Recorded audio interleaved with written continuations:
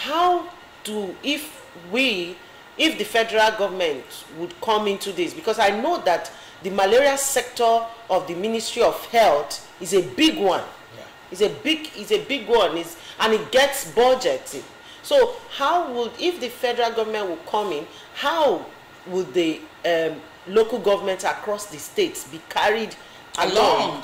Okay. to fight these you know these breeding sites and thereby giving us a malaria free almost Society. free society environment Okay, thank you for that question. You see, like that's why I said when I was mentioning, you said who should be involved. I talked about the government. Yes. I talk about individuals. I even talk about the social media.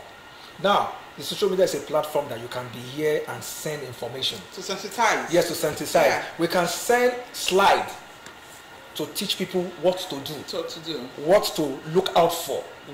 Where to go and look out for these things. Thank God you're here, so we're going to have a first-hand teaching. Yes. Yes. Now, Instruction now let me do. shock you. Do you know that it's not only World Malaria Day that we have? We have we even have Mosquito Day.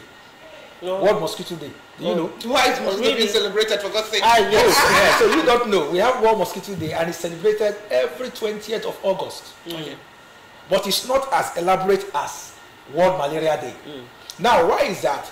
Why the World Mosquito Day came in place is that it's not actually to celebrate the mosquito per Yes. se, but it's to commemorate Dr. Ronald Rhodes that discovered the link between mosquito and malaria mm. and the parasite. Okay.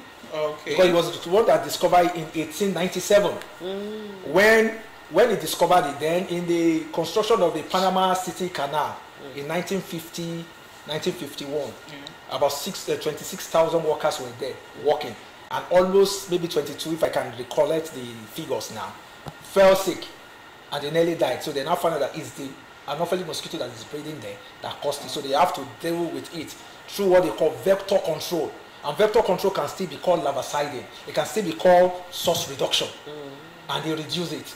Now, the, the World Organization even brought out a kind of a campaign worldwide mm. that they want to eradicate, that time is to eradicate malaria worldwide. Mm. And which they did. Mm. And which they did. When they did that, they, they, they, they, they omitted or consciously left Africa.